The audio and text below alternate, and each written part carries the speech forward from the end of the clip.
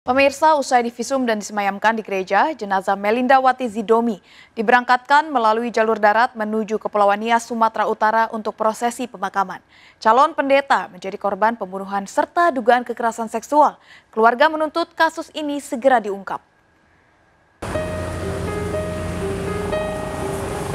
Usai dilakukan ibadah untuk mendoakan jenazah, jenazah Melindawati Zidomi Rabu pagi diberangkatkan dari Palembang menuju Pulau Hibala, Nias, Sumatera Utara.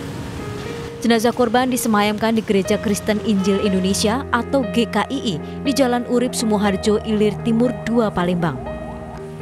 Gereja ini adalah tempat korban menyelesaikan pendidikan Sekolah Tinggi Teologi Injil Indonesia. Sebagai calon pendeta, korban diutus dan menjalani ikatan dinas di gereja GK2 di Dusun Sungai Baung, Kabupaten Ogan, Komering Ilir, Sumatera Selatan. Untuk menuju rumah duka yang menyita waktu hampir 24 jam, jenazah korban dilepas sahabat, rekan, serta kerabat dekat korban.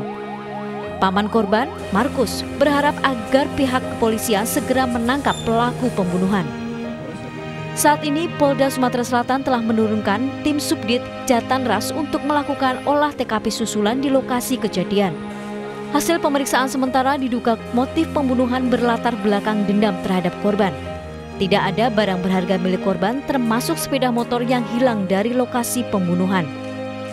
Khususnya kepada pihak kepolisian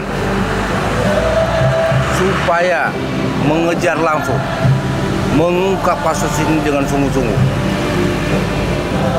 sangat saya hargai ya kepolisian. Selasa pagi jasad korban ditemukan mengenaskan di area perkebunan PT PSM Divisi 3 Dusun Sungai Baung, Bukit Batu, Air Sugihan, Ogan, Komering Ilir. Dari Palembang, Sumatera Selatan, Firdaus Ainius melaporkan.